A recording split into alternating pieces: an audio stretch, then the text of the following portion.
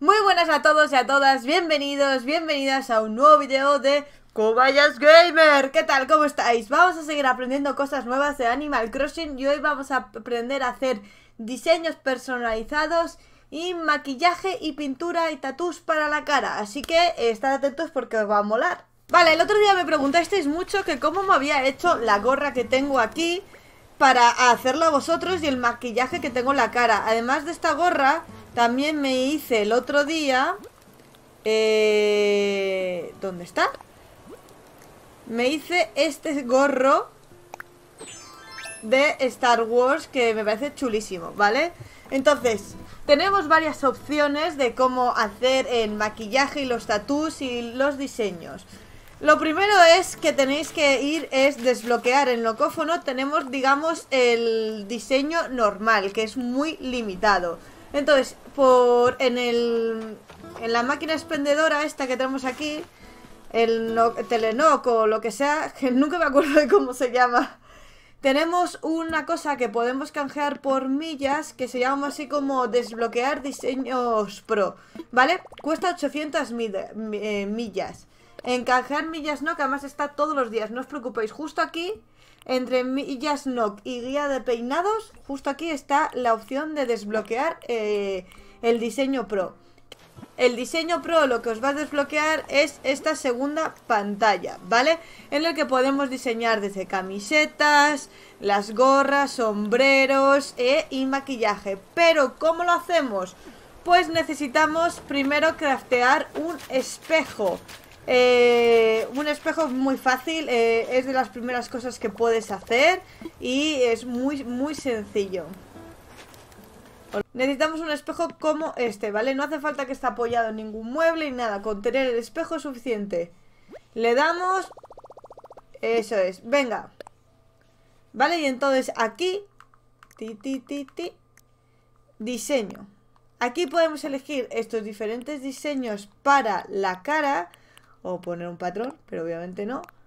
Y entonces aquí es donde elegiremos esos patrones. Pero, pero ¿cómo creamos estos diseños? Pues lo que tenemos que tener es esta versión Pro y le damos a un patrón en blanco, ¿vale? Cambiar el diseño. En este patrón podemos elegir camisetas sin mangas, manga cortas, camisa, abrigo, sudadera o jersey. También podemos elegir vestidos de cuerpo entero o sombreros, ¿vale? Una vez que elijamos lo que queremos hacer, yo por ejemplo voy a elegir la camiseta, tenemos eh, un patrón como para que puedas calcular un poco a qué distancia va a estar las cosas. Pero además también podemos, eh, si le damos a la R, como veis va girando y vamos editando, esto serían las mangas las diferentes eh, opciones que tenemos, ¿vale? Entonces, ¿cómo empezar un diseño aquí? Pues es un poco... Eh, un poco imaginación. A ver, si tienes algo en mente, puedes empezar a dibujar y, a ver qué te sale. Tener en cuenta que luego esto se puede borrar, no os preocupéis. Vale, con esto eh, diseñamos, digamos, las diferentes ropas. Si queremos hacer maquillaje, necesitamos usar este patrón. Entonces aquí eh, cambiamos el diseño y en cambiar el diseño, veis, ahí sale la opción de la cara, que será esta parte de aquí arriba y las mejillas. Entonces aquí, por ejemplo, en las mejillas, que igual os queréis poner como más colorete, pues podéis eh, poneros así rojito y lo eh, rellenáis. ¿Que queréis que os quede a la misma altura? Pues simplemente le dais a la X, a la herramienta le dais a la ZR y lo que hace es replicaros el espejo de lo que habéis hecho en un lado. Repasáis la figura, lo hacéis desde cero. Aseguraos de que lo habéis hecho todo.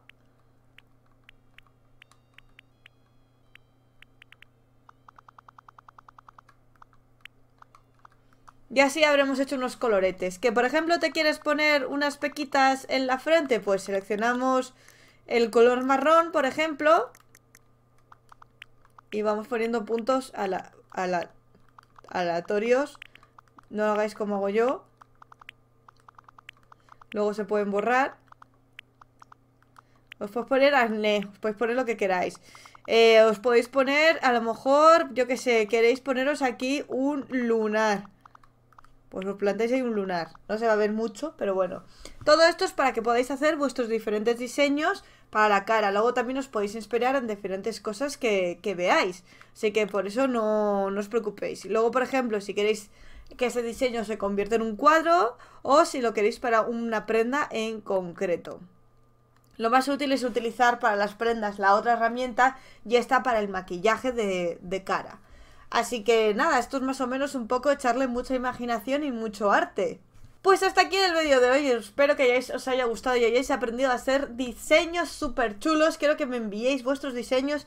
He habilitado en mi Discord un apartado para diseños para que podáis compartir vuestros diseños con los demás y enseñarnos qué cosas más chulas puede hacer la gente tan creativa como sé que sois vosotros. Así que espero que os lo compartáis y os dejo mi Discord en la descripción. Y aquí os dejo mi canal para que os suscribáis y aquí os dejo más vídeos para que sigáis disfrutando de contenido Nos vemos en un próximo vídeo.